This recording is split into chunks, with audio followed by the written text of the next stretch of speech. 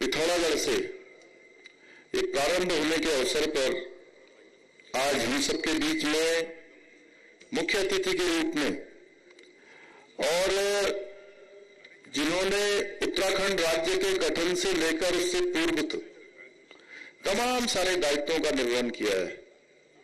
और आज वो भारत सरकार के रक्षा मंत्री हैं और मेरा भी सौभाग्य है कि आपके सानिध्य में रहकर मुझे अपने विद्यार्थी काल से काम करने का सौभाग्य प्राप्त हुआ है।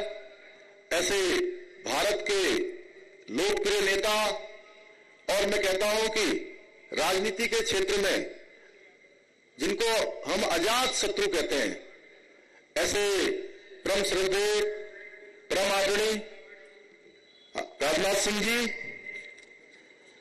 मंच पर विराजमान अभी जिनको आप सब लोग सुन रहे थे भारत सरकार के रक्षा राज्य मंत्री और बहुत सारे पदों का जिन्होंने एक सामान्य स्थितियों से लेकर शिखर को छूने का काम किया है।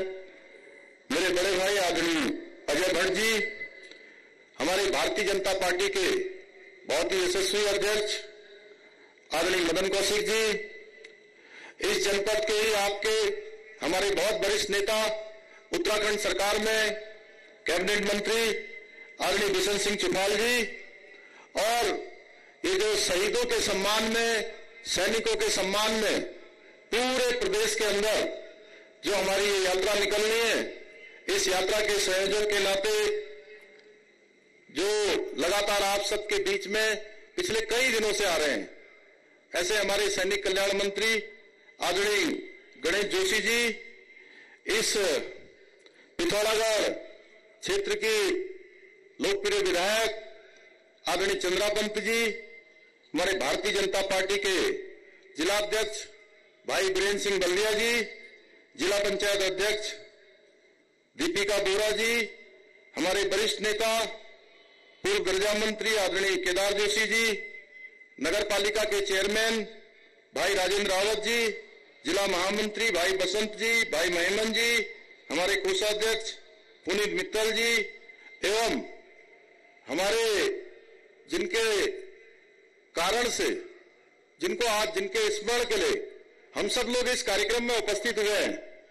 ऐसे हमारे सभी शहीदों के परिजन, हमारे उनके माता पिता उनके पारिवारिक जन सभी हमारी वीरांगनाएँ और कार्यक्रम में आए हुए बहुत बड़ी संख्या में हमारे सभी पूर्व सैनिक सैनिक उपस्थित, हमारे सभी बड़े बुज़ुर्ग माताएँ, बहनें, मेरे नौजवान साथियों।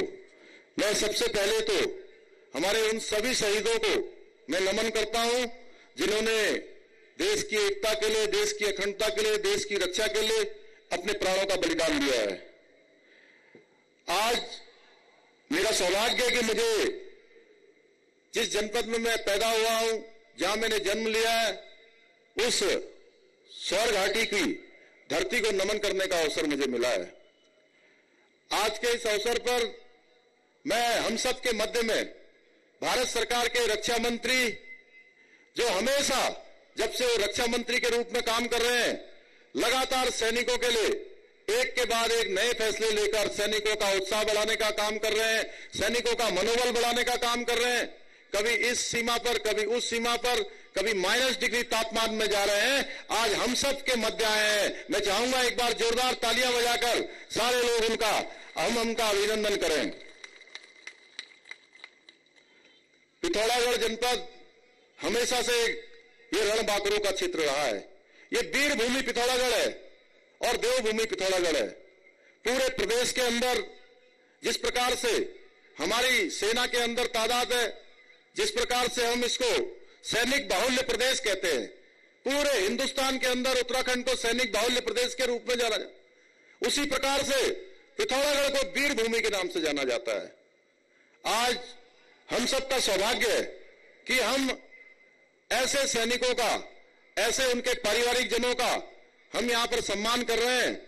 निश्चित रूप से हम उनका सम्मान नहीं, बल्कि उनको सम्मानित करके हम सब स्वयं सम्मानित हो रहे हैं। भाइयों, बहनों 4 जुलाई 2021 से एक सामान्य से परिवार में पैदा हुए आप सबके बीच में पैदा हुए एक सैनिक के पुत्र को मेरी पार्टी ने मुख्य सेवक के रूप में काम करने का अवसर प्रदान किया है। तब से लेकर आज तक लगभग चार महीने से कुछ अंतराल ज़्यादा बीता है। और मैं आपको बताना चाहता हूँ कि हमने चार महीने के कालखंड में 400 से भी अधिक फैसले लिए हैं। हर क्षेत्र में फैसले लिए, पहले दिन से हमने फैसले लिए। पहले दिन हमने जो हमारे अतिथि शिक्षक थे, जो लंबे समय से संघर्ष कर रहे थे, कि उनका मानदेय पंद्रह हज़ार से पच्चीस हज़ार होना चाहिए। हमने पहली कैबिनेट में उनका मानदेय बढ़ाने का फैसला किया। और उसका शासनादेश भी निकल गया। इसी प्रकार से लंबे समय से आप सबके बीच में से बात आती थी कि सरकारी नौकरियों में भर्ती रुकी हुई है। हमने चौबीस हज़ार के चौबीस हज़ार पद भरने का निर्णय लिया और अभी तक आधे पदों में भर्ती की प्रक्रिया प्रारंभ हो गई है। हमारा लक्ष्य है कि आने वाले दो, तीन, चार महीनों में सारे के सारे पद भर दिए जाएँ और उस दिशा में तेज़ी से काम चल रहा है। हमारे सामने बहुत सारी समस्याएँ थी। हमारी आंगनबाड़ी बहनों की अलग समस्याएँ थी। उनके बीच में से लगातार मांग उठती थी कि उनका मानदेय बढ़ाया जाना चाहिए हमने उनकी मानदेय बढ़ाने का भी काम किया हमारी सरकार ने। इसी प्रकार से आशा बहने, उनके बीच में से भी लगातार ये मांग उठती थी कि उनका मानदेय कम है। हमारी सरकार ने उनका मानदेय बढ़ाने का काम किया है। बिजली कर्मचारी हो चाहे सरकारी कर्मचारी हो चाहे उपनल के कर्मचारी हो हमने सबके लिए बीच का रास्ता निकाला है। हमारे ग्राम प्रधानों का भी हमने मानदेय बढ़ाने का काम किया है। स्वास्थ्य विभाग में हमने 207 जांचें मुफ़्त में करने का निर्णय लिया है। पिछले एक वर्ष से, डेढ़ वर्ष से, जब से कोरोना महामारी आई है, तब से बहुत सारी परीक्षाएँ हो नहीं पाई। प्रतियोगी परीक्षाएँ नहीं हो पाई।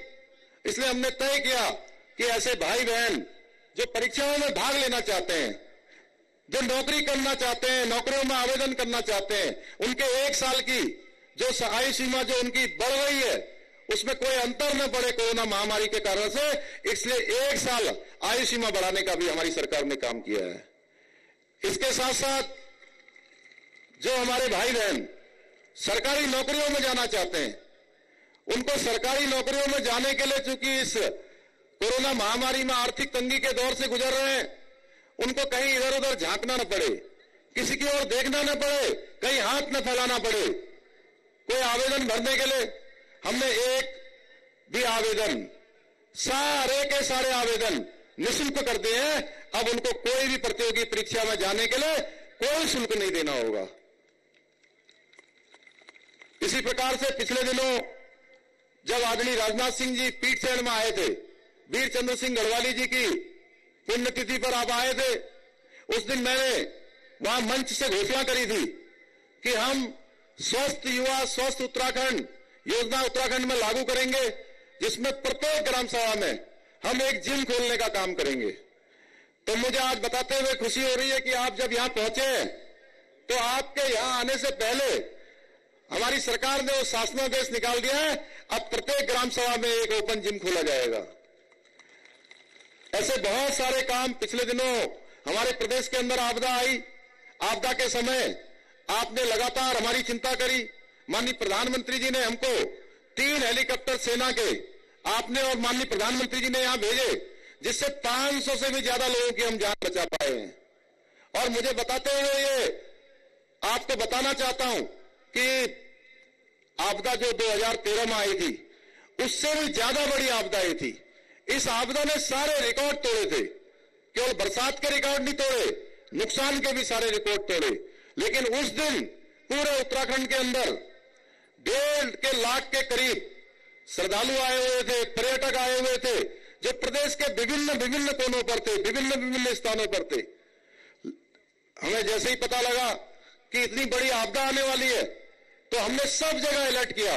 बड़ी हमने मीटिंग करी और उसका नतीजा ये हुआ कि डेढ़ लाख लोगों में से एक भी कैजुअलिटी नहीं हुई, एक को भी नुकसान नहीं हुआ। सारे के सारे यहाँ से उत्तराखंड से सुरक्षित गए। ऐसे बहुत सारे क्षेत्रों में हमने काम किया है क्योंकि समय की मर्यादा है। हम आदरणीय राजनाथ सिंह जी को सुनना चाहते हैं। वो हमारे बीच में आए हैं। मैं बताना चाहता हूँ कि हमने बहुत सारे जैसे अभी आपदा के समय में हमारी सरकार ने त्वरित रूप से लोगों के बीच में जाने का काम किया। मैं स्वयं गया हमारे मंत्रीगण गए हमारे संगठन के लोग गए। सारे लोगों ने जितना सेवा हो सकती थी उस सेवा को काम को करने के, किया है उस समय। इसी प्रकार से ये यात्राएँ नहीं चल पाई। हमारी बहनें जो आजीविका मिशन में काम करती हैं उनका जो कारोबार नहीं चल पाया जो स्वयं सहायता समूह के माध्यम से क्लस्टरों के माध्यम से ग्राम संगठनों के माध्यम से काम करती है क्योंकि अपने साथ साथ वो लाखों लोगों को रोज़गार देने का काम करती हैं। तो उनका रोज़गार कहीं चूँकि रॉ मटेरियल आया वो बन नहीं पाया और बना तो बाज़ार में बिक नहीं पाया। तो इस आ, इस कोरोना महामारी के समय में वो लड़खड़ाए नहीं अपने पैरों पर खड़े रहे। इसके लिए हमने 119 करोड़ रुपए का पैकेज दिया उनको और छह महीने के लिए उनके सारे ब्याज, सारे ऋण हमने मुक्त कर दिया, जिससे कि वो अपना काम आगे चलाती रहे। इसी प्रकार से स्वास्थ्य के क्षेत्र में काम करने वालों के लिए हमने 200 करोड़ का पैकेज दिया। इसी प्रकार से हमने जो पर्यटन के क्षेत्र में, परिवहन के क्षेत्र में काम करते हैं, सांस्कृतिक क्षेत्र में काम करते हैं, उनसे, उनके लिए भी हमने 200 करोड़ रुपए का पैकेज दिया है। हमारी सरकार एक सहयोगी के रूप में, आप सबके साझीदार के रूप में काम कर रही है। हमारे मन में ये भाव है कि हम 24 घंटे में से जितने घंटे भी काम कर रहे हैं एक एक पल और एक एक क्षण आप सबको समर्पित किया है। आप सबके लिए लगातार कि हमारे एक करोड़ पच्चीस लाख भाई बहनों के जीवन में नई खुशियाँ आए, उनके चेहरे पर मुस्कान आए और विकास की धारा अंतिम छोर पर खड़े हुए व्यक्ति तक पहुँचे, उसके लिए हमने विकल्प रहित संकल्प के आधार पर हम काम कर रहे हैं। अभी दो दिन पहले मुझे बताते हुए खुशी हो रही है कि इक्कीसवां हम स्थापना दिवस अभी हमने नौ नवंबर को मनाया है। और 21 वर्ष हो जाने के बाद बहुत सारी चीज़ें आगे बढ़ी थी।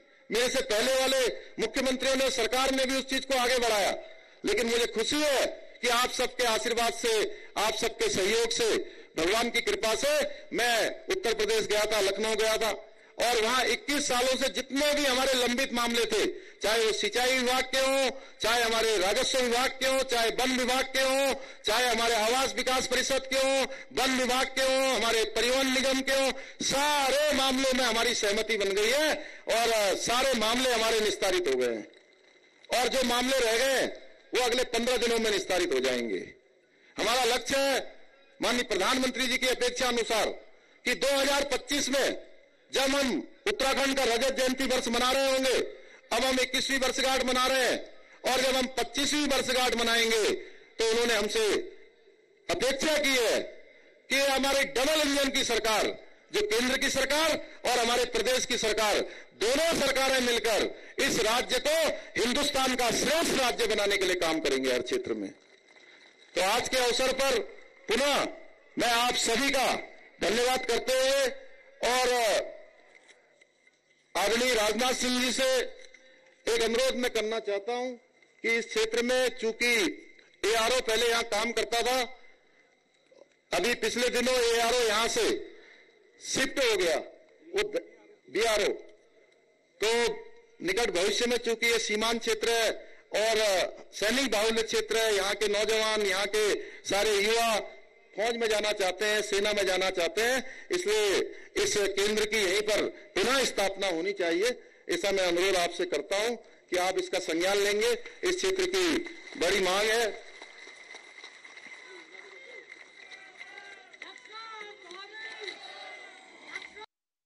पर सुनाई